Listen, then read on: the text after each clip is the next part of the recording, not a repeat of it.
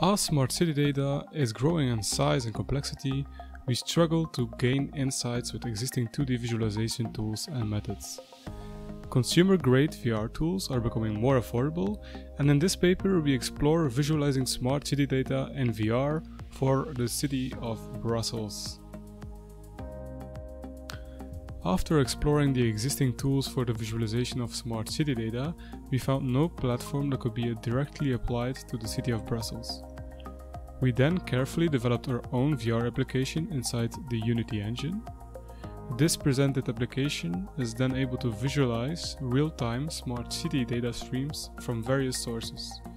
These sources include weather and pollution data regarding the city, public transport usage such as the real-time positions of buses, metros and trams, the usage of public bike rental stations, and various social feed clusters from Twitter, Reddit, and RSS feeds that are geolocated on top of Brussels.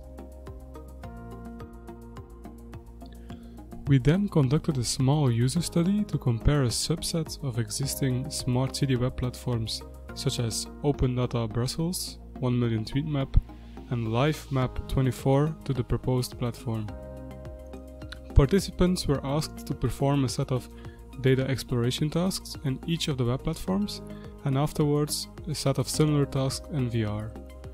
We then used NASA TLX to assess perceived workloads and questionnaires using Likert scales to assess emergent parameters. Results indicate significantly higher levels of data intuitivity, data immersion, data overview, and intuitive interaction when the users were using the VR platform compared to the existing web platforms. Furthermore, significantly less frustration is observed within the perceived workloads.